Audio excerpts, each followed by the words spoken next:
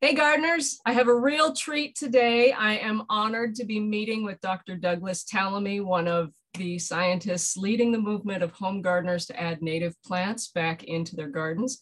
He's written several books on why this is such an important topic and such an urgent issue. Um, so Dr. Tallamy, would you please share with us your extensive experience and maybe summarize the bottom line results of your studies? Wow. yeah, I've been doing this for 41 years, so we'll start at the beginning. Okay. Now, yeah, I, am an entomologist at the University of Delaware, and um, my experience has been with how insects interact with plants. We learned all about that in graduate school back in the 70s. And one of the major take home messages was that the insects that eat plants do it by specializing on particular plants so that it enables them to get around the plant defenses. Plants don't want to be eaten. So, for an insect to actually take advantage of the energy in the plant, they have to come up with specialized enzymes to, to store and excrete and detoxify the nasties that are in the plant. Sometimes behavioral adaptations, like the monarch snipping uh, veins of the, of the milkweed leaves to block the flow of latex sap, or life history adaptations where you only come out early in the season when there aren't very many plant defenses. All of those things have to fall into place before the insect can actually take advantage of the plant. And 90% of the insects that eat plants are specialized that way. Uh, well, when we load our landscapes with plants from other continents, our insects have not been able to specialize on those plants.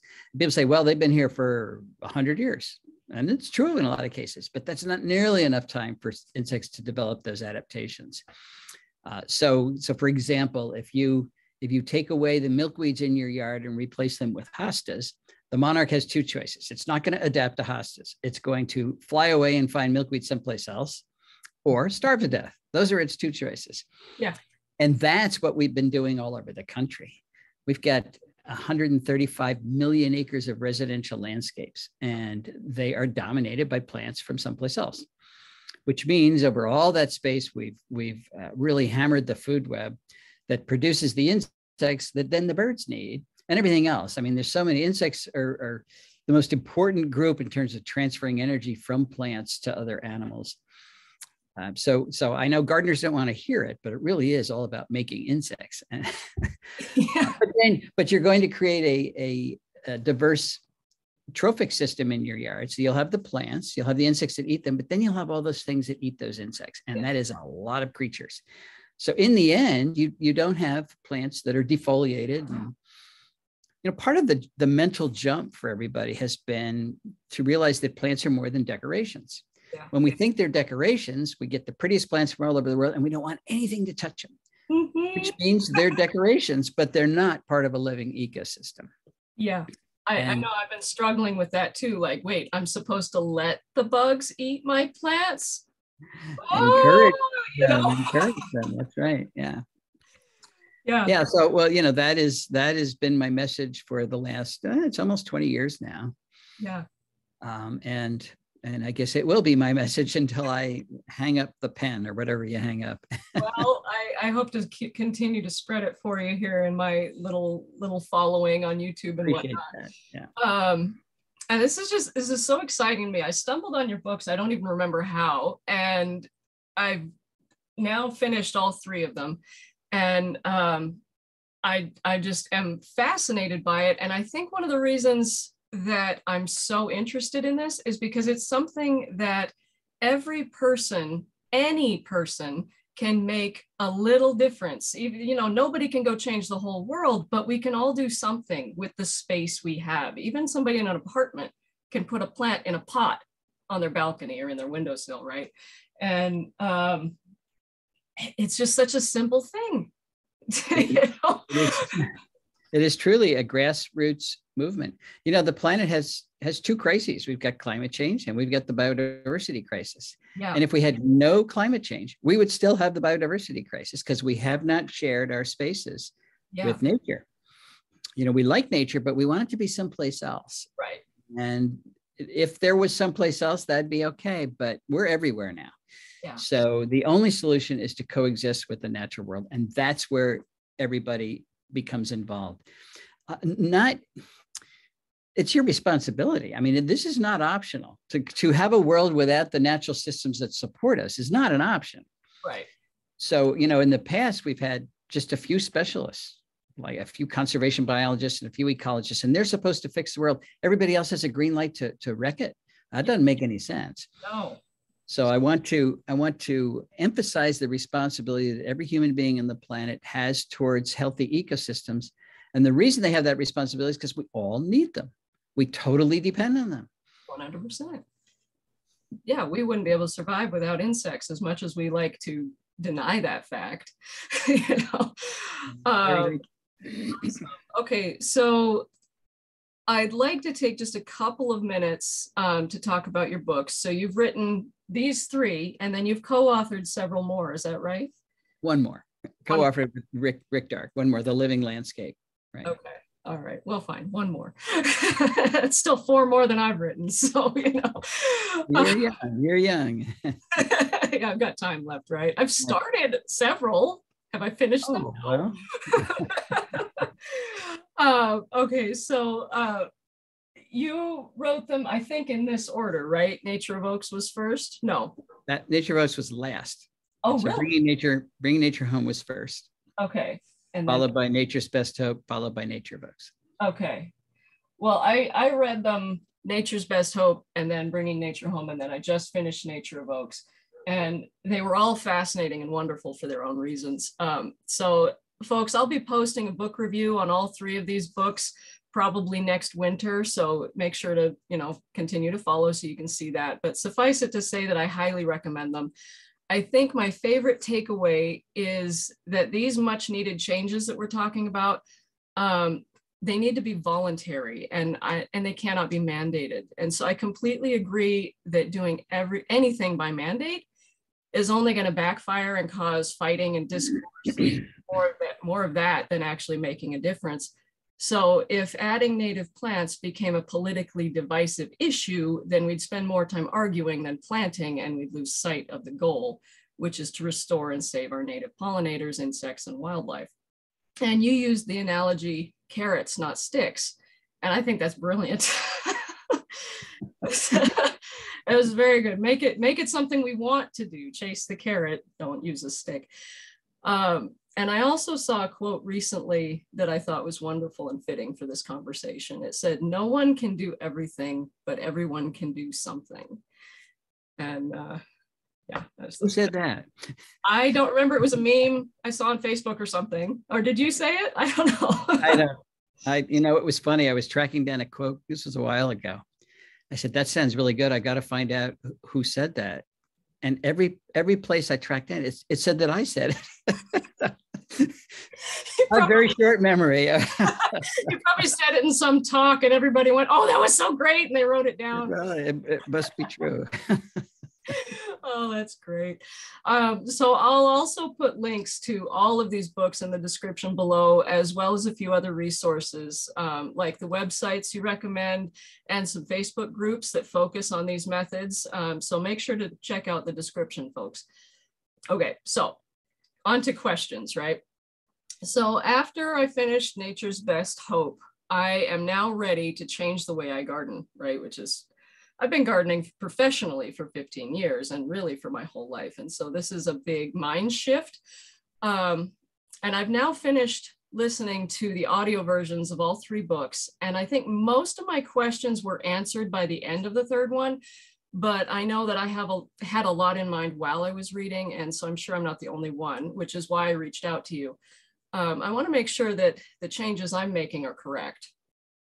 So I've always gardened conventionally taking care of the typical Asian and European species that everyone has, not really thinking much of it aside from enjoying how beautiful they are. But I've planted a fair number of things that I've recently learned are not beneficial to our environment, or they may even be harmful, like burning bushes, butterfly bushes, barberries, and chanticleer pears aside from barberries, I love all of those plants. you know? um, several of the invasive weeds that we battle on a regular basis were originally brought over as ornamentals, but they escaped their gardens and started taking over the surrounding wildlands and outcompeting natives because there was no natural control, which is what we were talking about, specialized insects, right? But I think most of our garden specimens fall in a category of inert plants. So they don't benefit our ecology, but they don't really cause harm either. Is my assumption there accurate? Yes, I, I, like to think of those species, something like a forsythia or a ginkgo mm-hmm. uh, or a crepe myrtle. They're not invasive. Yeah. They're not contributing either. So I, I think of them as statues. So the, the question is, how many statues do you want in your yard? You know, a few is okay, but yeah, yeah. That that was that was the question I had the entire time I was reading Nature's Best Hope was do we have to tear out all of our favorite plants? like yeah. that's going to be a hard sell for a lot of people. Um, but we, we actually did did some research on that. Um, yeah working with chickadees in the suburbs of Washington, D.C. And, and the question was, what does it take to sustain a chickadee population mm-hmm. in terms of native plants? Uh, and the answer was for this one particular study. Uh, now, chickadees forage on woody plants. So we looked at woody plants. Mm-hmm. If you have 70% of your woody plant biomass native, you could sustain a chickadee population. When it exceeds that, then uh, then deaths exceed births and it's unsustainable, which means you can have up to 30% of your woody plants, like the ginkgo and all the other things, um, without destroying the local food web.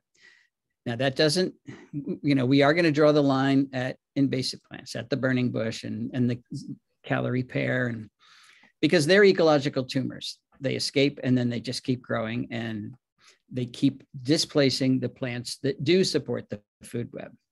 And I just, if, if I can add this. Um, they're not evil plants. It's the conditions we've created for them. And one of those conditions is an overabundance of deer because the deer do not eat those plants, but they do love our natives. So any little native that pops up, the deer eat and they don't touch the burning bush and the other things. So it, it tips the competitive advan- advantage toward the non-natives. It makes them look like super plants. Mm-hmm. But if we, in the absence of deer herbivory, many of our, our natives are highly competitive. You know, they, they do just fine. But uh, when the deer eats every oak tree when it's two inches tall, it doesn't have much of a chance. And that's what's happening with overabundance of deer from coast to coast. So that is one of the features that has really encouraged the invasiveness of a lot of these non-natives. Yeah, that's interesting. Even so, even though deer are native because they only eat the natives, it's just clearing the ground for more invasives they're native, but so were their predators, and we got rid of their predators. So ah, yeah, that's that's the imbalance there. We have, and in many places, we have 14 times more deer than the environment can support. That's called carrying capacity. That's not natural. Yeah. Um, so. Yeah. Yeah. No kidding. Oh man. Um, about like burning bushes specifically, I had no idea that burning bushes were a problem until very recently. I've never seen them reproduce. I mean, I've never seen them in our forest here in Spokane. Um, aside from a few manageable seedlings under the parent plant in the spring, I've seen that like twice. I, it never occurred to me that it was a problem. Um, and I see the birds eating the seeds in mine every winter. So I always thought they were important forage. And then I recently learned that they were non-native, that the birds are dispersing the seeds in the wildlands. Again, I'm not sure if that's happening in Spokane, but it's definitely happening on the East Coast, right? Um, it has already happened. yeah, exactly. I've seen the much, pictures. Oh my God. Uh, much terrible. of New England is, is just uh, the understory is all burning bush. Oh. Uh, but that brings up a good point all invasive plants are not equally invasive in all parts of the country. Yeah. I can guarantee that burning bush is not invasive in the Mojave Desert. Yeah, oh, absolutely. It's not a problem. Uh, and so, so like, I, I'm, trying to balance when I talk to my clients. I'm like, I haven't seen this here, but I know it's a problem in other areas. And so for me personally, I'm not going to contribute to something that could be a problem. So I'm not going to plant these anymore. And I'm actually going to start taking them out wherever I can. Um, well, I will add that when I started talking about these things on the East Coast, I would regularly, it's, it's always in a conference and there's a bunch of speakers. I would hear all the time how English ivy is not invasive in the East. It's invasive in Portland, but not in the East. And of course, nobody says that anymore because it's highly invasive everywhere. So, so there's this lag time, and yeah. so you never know. You know, if it's invasive one place, you should be highly suspicious. Yeah, yeah, I think that's definitely an important takeaway right there. Like, let's learn from you guys before we have a problem on the West Coast and start fixing it now. Um, yeah, absolutely. Um, and then something that really shocked me that I read in your book was that the seeds of burning bushes and all the Asian shrubs, I think you said, are not even nutritionally sufficient for the birds that are eating them. And that was like, that's it, I'm taking mine out. Like, I'm not going to feed my birds something that's not actually going to uh, nourish them. So that, that was the real nail in the coffin for me on those plants. Yeah. Um, you know, most birds, we always talk about reproduction because you don't have birds unless they reproduce. And 96% of our terrestrial birds rear their young on insects, not seeds. Okay. Their baby birds cannot eat seeds. Yeah. Uh, but most of the invasive shrubs that we have, it's the bird that's eating the berry surrounding the seed. They're not eating the seed at all. They're going to poop that out later on, and that's that's what makes it invasive. Yeah. Uh, so I think what you're referring to are the berries, uh, particularly from Asian plants, that are very high in sugar in the fall yeah. In the fall, birds, our plants, I mean, our birds, uh, they're either overwintering and they need high fat berries or they're migrating and they need high fat berries to, and to fuel the migration. Yeah, that was what it was. And, and that's, yeah, um, they're, they're, they're getting a, you know, a big dose of, of sugar during the migration when they need a big dose of, of fat. Yeah. Yeah. And people say, well, they're eating it. Why do they do that? Well, if you look at an invasion, that's all that's there. What are they supposed to eat? Because, yeah. So eat what's available. There's nothing else because that's all there is. Uh, oh my goodness. Okay, so my question that I was leading up to was how do you know if a specimen plant is harmful or not? And if it's not on the noxious weed list, right? Because I, I know the noxious weed list, burning bushes aren't on there. Um, and can you tell us the things that we should consider when deciding if we should keep or remove specimen plants from our gardens? Yeah, the noxious weed lists were um, created largely with agriculture in mind. They weren't thinking about invasive plants in natural areas. It was, is it hurting the local farmer? So it's actually a very restricted list compared to what's ecologically harmful. So how do you know? Well, you know, these days finding information is a whole lot easier than it than it used to be. You could look up for your county or your state, say, list of invasive plants for for Washington yeah. or for camp, or whatever, and you will find it. There'll be a list there. Is it on that list? Now that's not even good enough because that list should be changing. So, for example, in the east here, we plant Zelkova all over the place. It kind of looks like elm, and mm-hmm. um, and it's not on any invasive species list. But I I look in the woods behind my my mother-in-law's retirement community, where they lined the street with Zelkova. It's the only tree there, and the woods are full of them. So it if it's not on a list now, it will be in in, in as soon as somebody wakes up.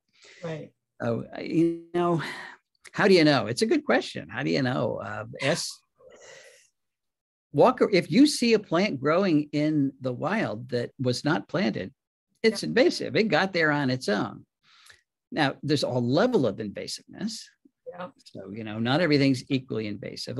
People call them naturalized it sounds nice. It sounds like they're joining the rest of nature and everything's working out. And some plants do do that. Some plants are in there. We don't see any, you know, they're they're occupying space, but you know, not that much. And I don't worry about them. I, it's it's the thugs that are taking over and excluding all these. All you need to do is is look at a kudzu invasion or a burning bush invasion or a Callery pear invasion or a Himalayan blackberry invasion, and you get it that um, there's nothing else there.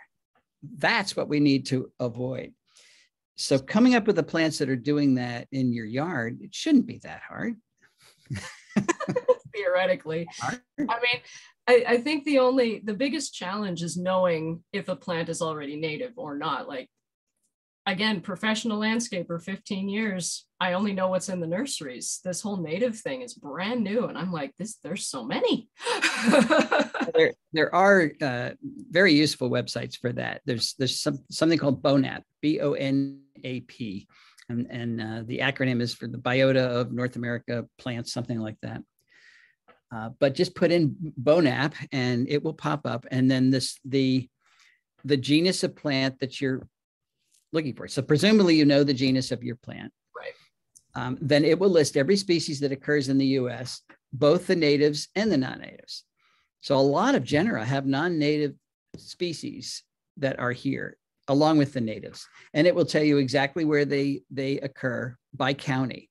So it's the most accurate way of tracking down, is this plant native to my area uh, or not? And where does it occur? Well, so that you go to Bonap, all your questions are answered. I love it. I love it. I'm going to look into that this afternoon. Excellent. Um, well, and that kind of leads into my next question, which was, is there a, re a, resource to find out which of our common landscape plants are doing this much damage? So like I can refrain from making similar mistakes in the future.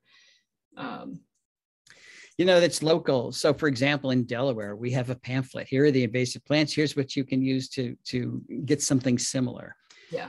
But that was a local effort that, that, you know, we, we did. I, I, it probably exists in a lot of states. I can't speak for for you guys, but um, but it could very well exist. That is something that your your university extension agent should have. It should be available.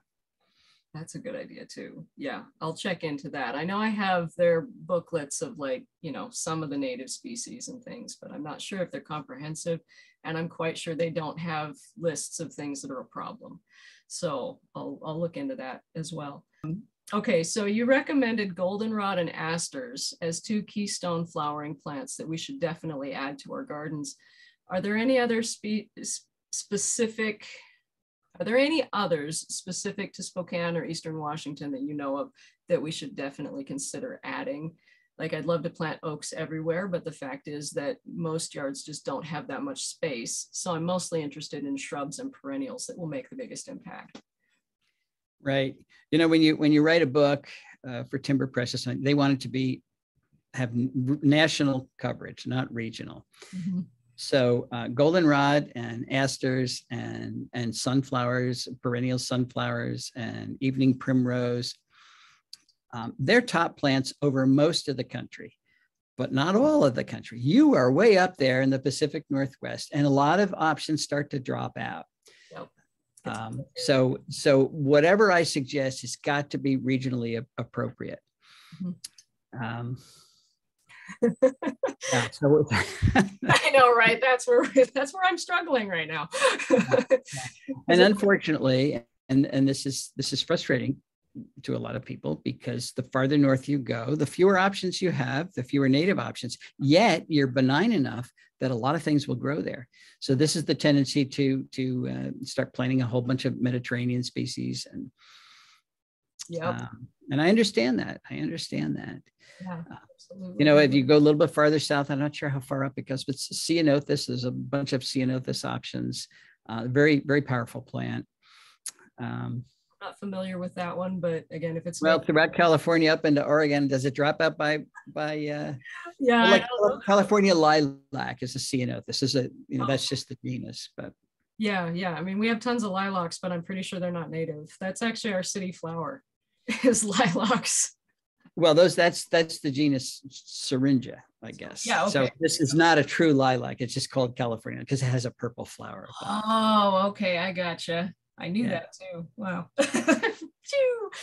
anyway, all right. Um, I know you have a website, Native Plant Finder. I tried to use it, but I think it's more specific to the East Coast. Is that right? No, every county in the country. Okay. Put in your zip code, and the ranked list, the best best plant genera for your county will pop up. Excellent, excellent. Okay. And it and it, it works well in most places. California has something called um, Calscape, which is it's just more accurate. They have every single plant species geo-referenced in California. So if you put in a species, it will all the dots where it occurs in the entire state show up. That's which is handy because in California the counties are huge and they cover in a single county you can have three or four different biomes. Yeah. Which makes the native plant finder which is by county not that useful. Um, but in most other places, the counties are smaller and it's not multiple biomes, so it is pretty useful. And I'm gonna I'm gonna throw Washington in there. I think it's pretty useful in Washington. Yeah, yeah, I did find quite a few. Um, I just I wasn't sure if it was how specific it was. So that's really good to know that it's by county. I'll, I'll look mm-hmm. again into that mm-hmm. and uh, uh, make sure to. I'll probably just print the lists to be perfectly honest. Um, all right, so for about a year, maybe two years now, um, I've been learning about xeriscapes, pollinator gardens, and native plants. Um, I always used to think that a pollinator garden just meant there needs to be lots of flowers. Like that's all you need is flowers. And I can do that. That's great. Well, eh, no. so um, I now know better. I was a bit surprised when I learned that only certain flowers actually make any difference. So um, after reading your books, I was inspired to post a monthly video on my YouTube channel showcasing a native plant, maybe more frequent, but we'll start with monthly because, you know, I don't have a lot of spare time. I'm sure you can imagine. Mm. Um, but that way I can educate my viewers while I learn myself. So folks, remember to stand by for that plant showcase series that'll be starting hopefully this summer. Um, so here, here's the thing with a pollinator garden. Yeah. Yes, you want flowers. Keep in mind, uh, a lot of woody plants are very important pollinator plants. Yeah. They bloom too. Uh, and many times their flowers are not big and showy. So for example, um, you know, our native hollies, they have tiny little flowers. They are magnets to many of our, our native bees. So first of all, when you think about pollinators, you got to get beyond honeybee.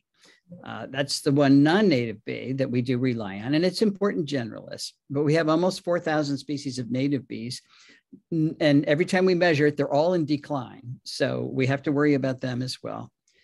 Uh, and of those species, more than a third of them are what we call specialists. They can only reproduce on the pollen of particular plants. So the object is to plant for the specialists because the generalists, like many bumblebees and the honeybee, can use the specialist plants too. And they do use them. Yeah. But the specialists can't use the generalist plants. So if you only plant, uh, and this is where planting non-native flowers like zinnias and the things that, that insects do go to, this is what confuses people because you, you will get honeybees and a few bumblebees and a few other things, and butterflies are coming, they're sucking the nectar. Yeah. Uh, but you're only meeting the needs of a few generalist species. You're not meeting the needs of any of the specialists. Um, and yeah. it's so and that's that's even more confusing because bees will go to flowers to get the nectar, which they need but it's the pollen that it counts because they can't reproduce on nectar they reproduce on pollen and it's got to be specific pollens for a lot of, of species. So focus on the, the specialist bees and then you're satisfying everybody's need. Now how do you know what the specialist bees are right? Thank you. Well fortunately we, we do have a new tool um, improving it but right now you can go to again a national wildlife federation website uh, it's called Keystone Plants for Caterpillars and, and Bees, or pollinators. Keystone Plants for Pollinators. Uh, and it will list, and it's by bioregion. And it's by bioregion at bioregion level one, which is that's the problem. It's very general but you can look, you say, okay, I'm in this bioregion. There's a map there to tell you where you'd live. And here's a list of the specialist bees and the plants that they, they need for your bioregion. Now we want to move it to bioregion level two, which is more specific. Um, and you can more accurately pinpoint where you are. But uh, it's the first time that any knowledge of the, the specialist bee requirements has been available to the, the natural pub, to the, the public who can actually address these issues.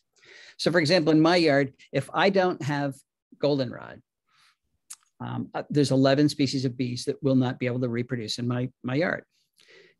If I don't have goldenrod and asters, if I don't have goldenrod, asters, and um, perennial sunflowers, there's 44 species of bees that can't breed there. So, but if I do have them, I get all the bees because the you know honeybees, everybody uses goldenrod and these other things. So you can really target you can target these these specialist bees. There are a lot of plants that only have one or two specialists on them, like like spring beauties here uh, in the in the east. It's got a specialist bee. Yeah. It's only one. so, so this is where diversity comes in. The more diversity you can have in your flowering plants, the more uh, specialist bees you're going to satisfy. Yeah. And of course, the other big challenge is having blooms throughout the season mm-hmm. because bees don't just reproduce for a week you know they they're now there's a sequence of species that goes through the uh, you know through the season uh, but most of them you know they're going to be around at least a month so you need a sequence of blooms from whenever plants start blooming in washington all the way till when they stop and that's most of the year i think for you guys yeah there's about november it really peters off and then it starts up again in march yeah yeah and that's the biggest challenge that's the big, particularly for people with small yards. How do you get all those blooms in your small yard? Right. And especially and this is where, goldenrod that tends to spread, you know. well, there are there are, you know, clumping goldenrods that that don't spread very much. So you might want to focus on those.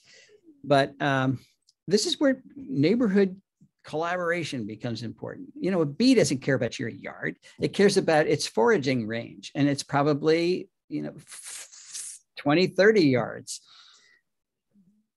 if you look at the the over that that 30 yard space somebody's going to have more sun than somebody else and you can you know it takes coordination but you can say okay you you do this i'll do this i'll do this and we'll meet the needs we'll have something blooming all the time. That means you have to talk to your neighbor. That could be a that could be a, i don't know about that. No. Kill it right there but uh, there's some neighbors i would never speak to and others that i'm good friends with i get it. There you go there you go I love it. I love it. All right. So I talk to a lot of people about their gardens. And one of the biggest objections I hear about Xeriscape's native gardens and pollinator gardens is the stigma that they're messy or ugly or they're dry, they're barren, whatever. So, what would you say to people who have that opinion? Uh, your garden is as messy as you make it. yeah, I've got, I, would love to show you a slide right now. It's the most formal garden I've ever seen, um, taken by a drone 400 feet up. It's a big garden. It is totally formal, and every plant in it is a native plant. Oh, that's formality is a function of the design. It's not a function of the plants in the design. Uh, so it, a lot of people do equate native gardening with no gardening. You just don't do anything, and what's there is going to be native, which is probably not true. It'll be all the non-natives that that, that come in, but Mm-hmm.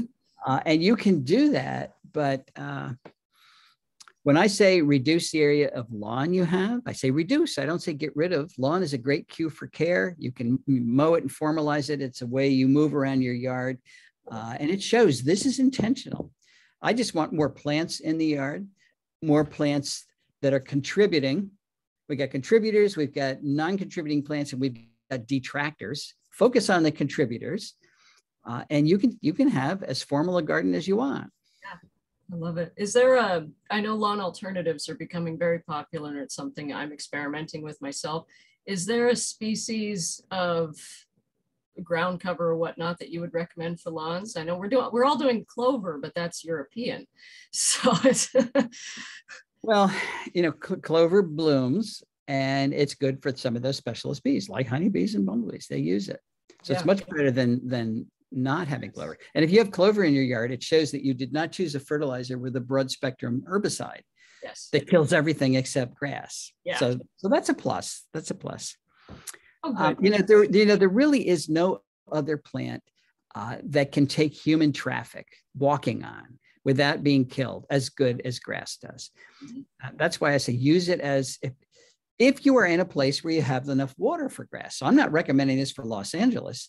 Right. They don't have one drop of water for one blade of grass. Right. Uh, so then you come up with other alternatives. But you know, if you get decent amount of rain, you can have you can have grass without breaking the water budget.